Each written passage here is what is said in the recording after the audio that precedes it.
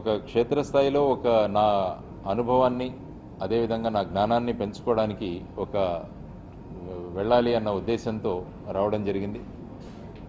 ఈ పరిశీలన తర్వాత ఏ విధమైన సమస్యలు ఉన్నాయో వాటికి పరిష్కారాలు కూడా చూడడానికి ఒక పౌరుడిగా నా కర్తవ్యం. ఆ విధంగా కూడా ముందుకు వేస్తున్నాను.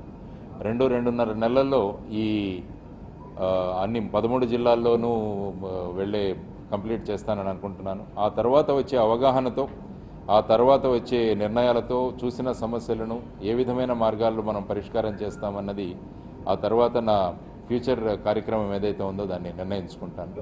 తీసుకున్న నిర్ణయాన్ని మీకు ఖచ్చితంగా తెలియజేస్తాను చాలా ఆరోపణలు వస్తున్నాయండి. నన్ను ఎవరో ఇప్పుడున్న ఒక పార్టీ వాళ్ళు నన్ను పెట్టారు. సామాజిక వర్గం ఓట్లు చీల్చడానికి నన్ను వాడుతున్నారు. నా చిన్నప్పటి నుంచి ఒక సంఘంతో పాటు నాకు సంబంధాలు ఉన్నాయి కాబట్టి ఈయన ఈ పార్టీలో వెళ్తారు. ఇవన్నీ నేను కూడా రోజు చదువుతున్నాను నేను రోజు చదువుతున్నాను వీటి గురించి. వీటిలలో ఏమాత్రం సత్యం లేదు. నేను మనస్ఫూర్తిగా మనసు నుంచి మాట్లాడే మనిషిని. అది క్లియర్గా మీకు చెప్తున్నాను నేను ఈ విషయాన్ని. ఇందులో ఏమాత్రం సత్యం లేదు.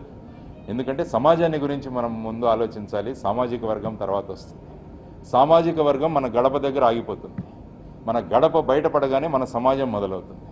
అందువల్ల సమాజం గురించి ఆలోచించడం చాలా ముఖ్యం. ఆ తర్వాత రాష్ట్రం గురించి ఆ తర్వాత దేశం గురించి ఆలోచించడం ముఖ్యం.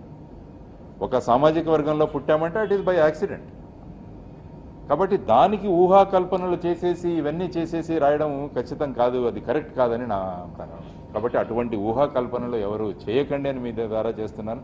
చేయాలనుకున్నా కూడా మీరు చేయండి because I cannot stop freedom of expression మన రాజ్యాంగంలోకి వచ్చిన హక్కు కాబట్టి.